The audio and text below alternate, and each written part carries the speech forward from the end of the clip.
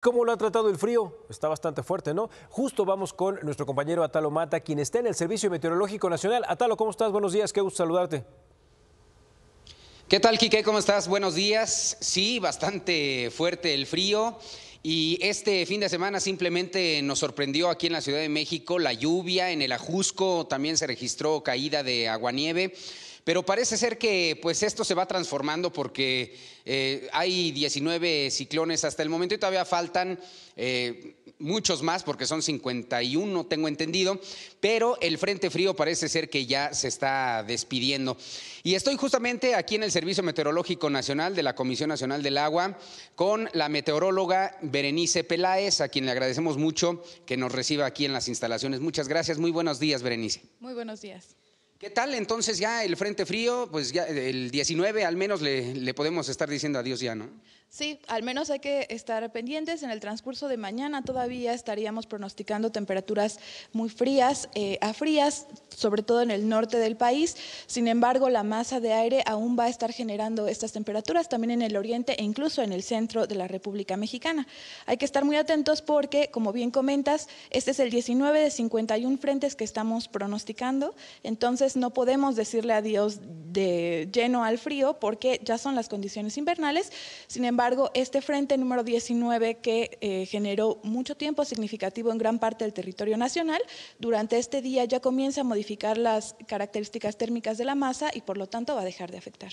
Ahora, Berenice, la lluvia del sábado y domingo aquí en la Ciudad de México nos sorprendió a algunos, pero ¿qué tan normal es, o sea, que en estos días de diciembre caiga lluvia? Bueno, en general, en la Ciudad de México tiene un régimen de lluvias bastante peculiar, o sea, tenemos lluvias prácticamente todo el año, porque esta lluvia estuvo asociada a la masa de aire que estaba acompañando a este sistema, como era una masa muy intensa y además teníamos también la entrada de humedad tanto de la corriente en chorro eh, del Océano Pacífico, eso hace que se genere una probabilidad de precipitación. Entonces, no es tan rara considerando que teníamos a este sistema frontal sobre el país.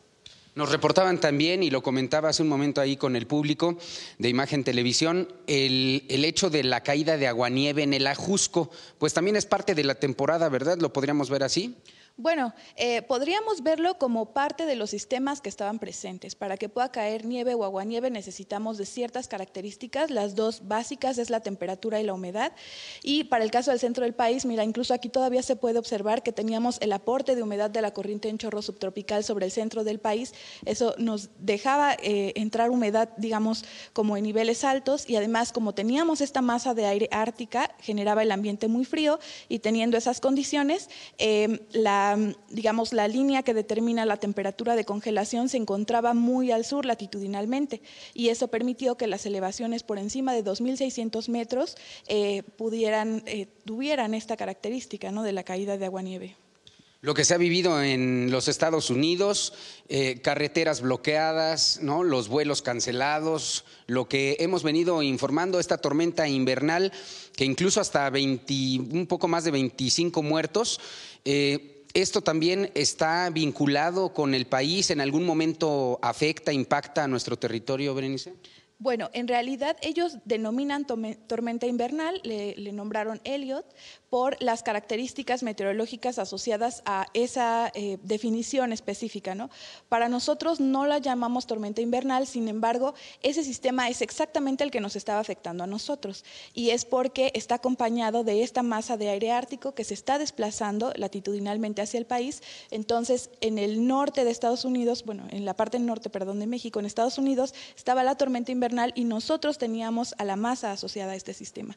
Entonces, es el mismo sistema, solo que tiene una gran extensión espacial y a nosotros nos afecta eh, la masa de aire ártica y por eso denominamos onda gélida. Okay. Por último, el mal clima, eh, sabemos que en el norte del país, en la República Mexicana, pero también ya para el Bajío, ¿no? San Luis Potosí, Guanajuato, ¿qué se verá para los próximos días en la República Mexicana y en la Ciudad de México en cuanto al pronóstico del tiempo? Bueno, tenemos la aproximación de un nuevo frente frío esta noche y va a continuar, como te comentaba, el ambiente frío a muy frío en entidades del norte y también en zonas altas tanto del oriente como del centro del territorio nacional.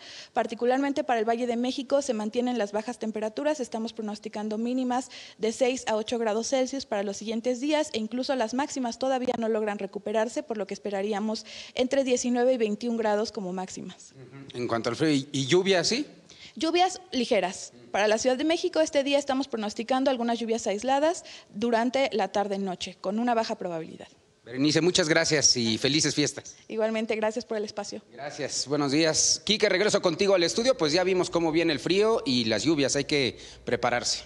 Así es, Atalo, y bueno, hacerles la recomendación que siempre les hacemos a todas las personas, si van a utilizar anafres o algún tipo de calentador, extremen precauciones, por favor, basta una fuga para que todo pueda cambiar, para eh, empeorar las cosas aún con el frío, y bueno, pues como bien dice Atalo, a cuidarse porque esto va a estar todavía durando un poquito más, y bueno, lo bueno de las ventajas de la lluvia, Atalo, es que con toda la contaminación que habíamos generado en Navidad, eso bajó un poquito.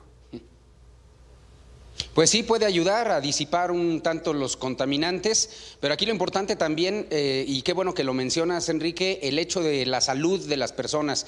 Eh, les damos a conocer el pronóstico del tiempo con el apoyo del Servicio Meteorológico Nacional, pero es importante no nada más para saber qué platicar con los demás en Año Nuevo, sino que eh, poder estar prevenidos, sacar la chamarra, sacar la bufanda y evitar enfermedades que ahorita pues ya sabemos cómo están los virus por todos lados. Ahí está la recomendación, Natalo. Muchísimas Felicidades también. Gracias, igualmente un abrazo.